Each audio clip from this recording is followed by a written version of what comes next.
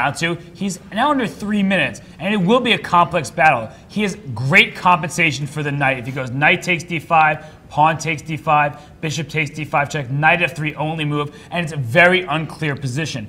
Both sides have great chances. I like black's position. He's active. The king on h1 is very weak. This bishop is the single best piece on the board, but taking all this time right now for a very obvious sacrifice when you have to win doesn't make any sense to me whatsoever. Yes, he's he's dwindling down those two minutes. I mean, he's reaching two minutes now. I think that's a bit too much time to make such a you know. Yes, it's a big decision. It's a critical position. But when you're such a strong grandmaster, I would I'd guess that these things are pretty intuitive.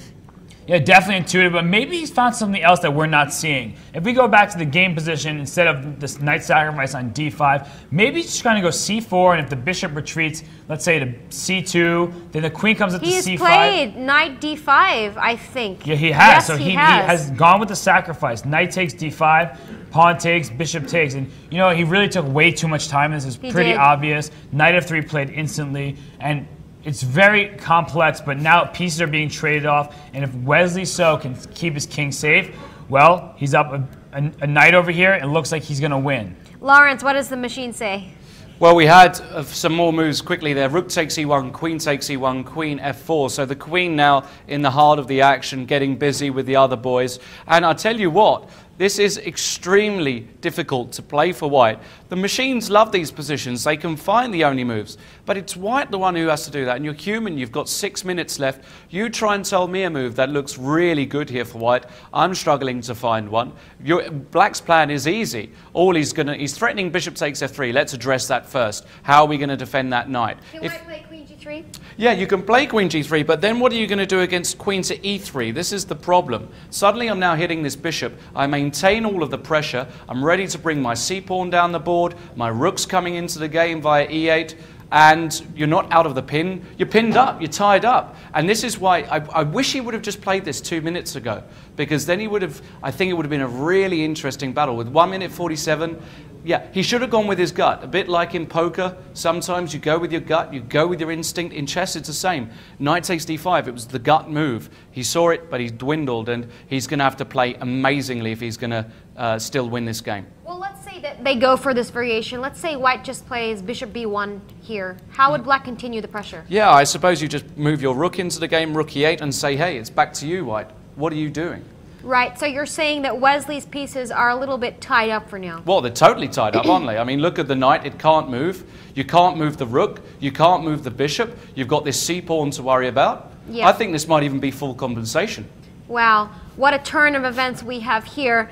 If Zhou Jianchao manages to win this, we will go into another tiebreak with five minute games. Very exciting. Of course, that's what we want, but Wesley So is hoping to secure a draw. Robert, what do you play us through the emotions that he's feeling right now? Well, Wesley just made his move king to g2, a move that I find very scary. The king now is into the action, protecting knight on f3. But if this queen on e1 is distracted, let's just throw in some random moves like h6 and queen out to c3. Well, then queen g4 check is incredibly powerful. It makes sure that you win this knight on f3 because two pieces will attack and the king has nowhere to go to defend it. So white has to now be very vigilant of this idea of queen g4 check. But I agree with Lawrence. Black could not afford to spend so much time on that knight sacrifice. If he had made that move instantly, then perhaps the time of the clock would would have been switched sides. And he's still thinking, you He- know, he's going down in one minute now. He's going down to one minute, and he he had the opportunity. Wow, g5, what a move! Look at this. Pawn to g4 is a huge threat, and if pawn takes g6, well, perhaps he can now take with his pawn. And as we see, the rook comes in the action. The pressure on f3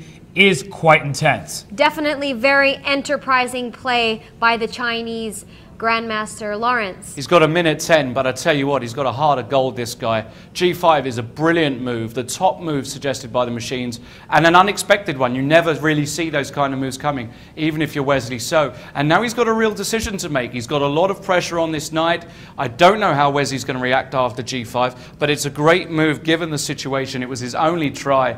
And uh, if you're Wesley, you're going to spend a, couple of minutes here because, you know, if you take this pawn off, allow this O file to open up, you might end up losing the game. So you, have, you actually have to calculate.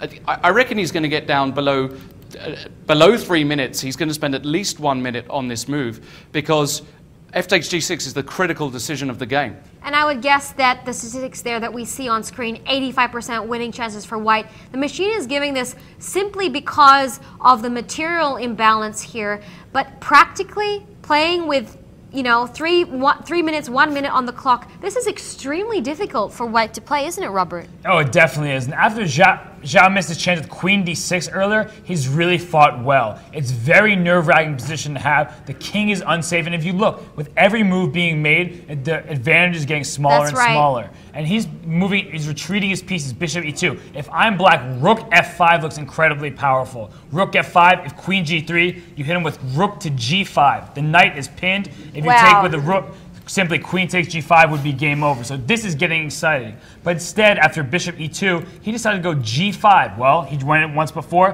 why not again? After g4 is the crucial threat, it looks very difficult for white here, and he's losing time, but again, it's very unclear position. Yes, let's see if this Wesley So can keep it together. I think he can, but with those times looking the way it is, it's getting increasingly hard. I think there have been some inaccuracies here on behalf of Zhao because the statistics have just gone up for Wesley. Over to you, Lawrence. Yeah, unfortunately for Wesley, it looks as though, uh, rather, not unfortunately for Wesley, fortunately for Wesley, unfortunately for Zhao, looks as though he's gone a bit wrong. It was tough to make the real uh, precise moves with such few time. He's got 45 seconds left. He's got g4 on the board. Check is on the board. He has to move the king. I don't know what he's waiting for. Come on. He's got, he's got 38 seconds. What's he waiting for? Check is on the board. I don't understand why he's not. I think he recognized that he's now completely lost. The idea is after king Right. g8, simply knight e5, there's no longer this pin on this diagonal. Yep. And once I trade rooks, it's end of story. You don't have enough pieces to attack me. I'm up a minor piece. That would Yep. spell game over. And it just goes back to that move when he spent so many minutes Yep. for a very obvious sacrifice, and he wasted precious time. The clock situation could have been reversed if he'd made that move much sooner. No, 14 seconds left. That's. uh, 14 seconds, and Wesley will definitely see knight e5. I think we're going to see a shake of hands very soon. Come on, Wesley. We are waiting for this move, knight e5, because you know what? If he doesn't, who knows what could happen? But with 14 seconds on the clock, really, I, I don't think that Zhao has much of a chance here. And he played knight e5, which is just the move that That's right. shuts down all of black's hope. The rook on f8 will be traded. You can't stop it because your queen's under attack. The queen is nowhere good to go, and he's going to lose on time. I think. You know, he's thinking about the position. He realized he's lost. And three, two, one. Oh, Here he we resigned. The first game was very easy. That game was incredibly difficult. It was very nervous, very tense. And look at Wesley. He's very relieved right now because he knew at some point he was in danger. He just kind of, look at his face, he's smiling. He understands that if Zhao had just found a few more accurate moves, well, Wesley could have been in danger. And look at him. He's getting the support from his teammates from Webster, his coach, Susan Polgar, and everyone is kind of rooting for Wesley. And he just, he looks a lot more relaxed. But now the battle ensues. He's playing his very good friend, the very strong Grandmaster Ray Robson, and that's going to be a battle of ep- epic proportions. And as we see on the screen there, former world champion Grandmaster Susan Polgar must be extremely satisfied. Two of her students into the finals of the Millionaire Chess Open. Lawrence, any thoughts? Well, yeah, I mean, Wesley, we, we saw again how all chess players are human. He played this move, Queen c4. He started to lose the plot a bit, but he showed his class, stayed calm. Zhao missed his chance and he went through. So uh, it's great news for Wesley, great news for Webster as well. I mean, we got two guys studying at the university uh, in the final of this prestigious tournament. So uh, Susan's going to be delighted, speaks volumes about their training program. And look at him there approaching his colleague. Ray's actually come out, I suppose, to support him very much. Maurice Ashley, the tournament director there. his opponent in the next round, Ray, who we obviously spoke to earlier. And I believe he's going to be coming. his way to talk to us. We are very excited to see him. The two finalists, as we can see there in the camera. Now, Lawrence, take us through what's going to happen at, in the finals while we get set up here with Wesley. Well, the finals, we've got it clear. Wesley So versus Ray Robson. They are going to be fighting it out in just a short while. They're going to be playing the same format as we saw at the beginning of these semi-finals. They start with a 25-minute game. If that is tied after two games, obviously they have white and black each. They play what we just saw, a 15-minute game, and the coverage will begin at around 4.30. I can't wait. It's going to be great. Both of these guys, well, they deserve a lot of credit, don't they? Wesley for showing his class, never been in real danger in the tournament, but Ray also for showing that he's a fighter. And you've got to fight to get to the finals. Sometimes you can't always have it your way. And uh, it's going to be a really interesting uh, mix of styles, actually. Ray, very aggressive player, very tactical. Wesley, we've seen, he likes to eke out these small advantages. So, clash of styles, clash of personalities. Can't wait. Lawrence, we are here with the finalist, Grandmaster Wesley So from the Philippines. You you seem to have just sailed through that match. Take us through it.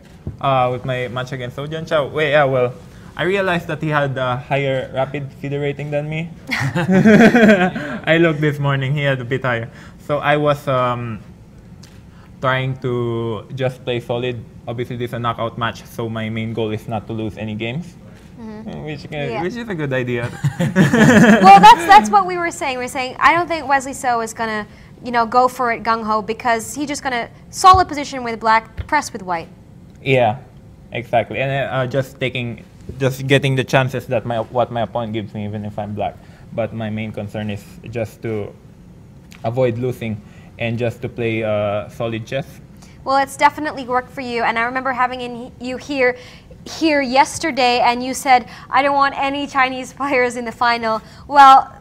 Two of them are, have gone, so you must be ecstatic, and you're playing your friend in the final in, in Yeah, just a, playing- a few hours. How are you feeling about playing him? Well, excited. I'm also very happy that uh, we both reached the finals. He's my teammate, and uh, we're close friends. We've been rooming together for two years until recently, and um, I really look forward to playing against him. Uh, obviously, it will be a tough match, but I'm just glad that I reached the finals, and um, there were some nerving moments on my last game, but I eventually yes, I believe through. Robert has some insight into that. He's got a few questions for you. Yeah, Wesley, firstly, congratulations on the fantastic performance. Thank and, you, Robert. you know, your first game was just a complete masterpiece. You crushed him. It was very straightforward. But your second game was far more complex. He sacrificed the pawn in the position that I have on the board here. Well, I thought Black had good chances. Did you Yeah. see this move Queen to D6 here? Yeah, I, I saw Queen D6. I was going to play Knight F3. So Knight F3, and what do you think? Then- your pawn on F4 is under attack. He can Yeah, sacrifice he his knight on on D5. D5. It's It's a very complex position. Were you nervous? It's a very complex. Yeah, I was nervous. I had to admit, but at the same time, um, I won the first game, so I'm glad that even if I lose this game, I will still reach the Blitz playoffs. So obviously, it's a very complicated position. He had black, and he has absolutely has to win. So he has to go all out, which he did. And fortunately for me, he got low on time. That's right. He, he, you seem to be playing a lot quicker and uh, obviously very, very sharp these days. Now tell us, uh, before you go get you, catch your breath and take some rest before the finals, what is going to be your strategy? Obviously, you can't tell me exactly, but what is your Ray? approach?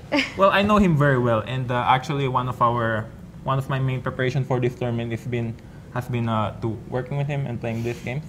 And you've both made it to the finals. it's fantastic. Yeah, I, I wasn't. I wasn't expecting it. I mean, obviously, it's a very tough event, and one more match left. But um, for the match today, um, or the finals, I guess the spectators could expect uh, um, exciting games.